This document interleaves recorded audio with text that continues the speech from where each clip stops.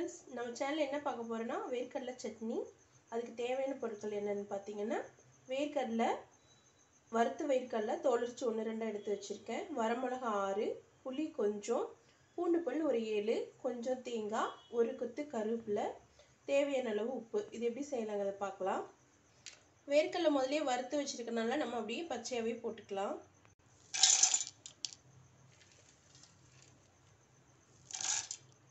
தேங்காய் சின்னதாக கட் பண்ணி வச்சுருக்க அதையும் போட்டுக்கலாம்.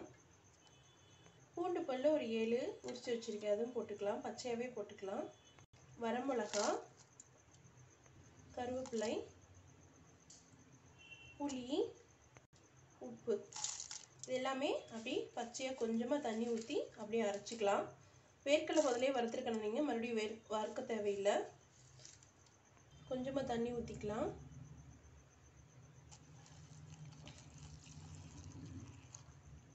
இப்போ அப்படியே நம்ம அரைச்சிட்டு எப்படிங்கிறத நான் உங்களுக்கு காமிக்கிறேன்.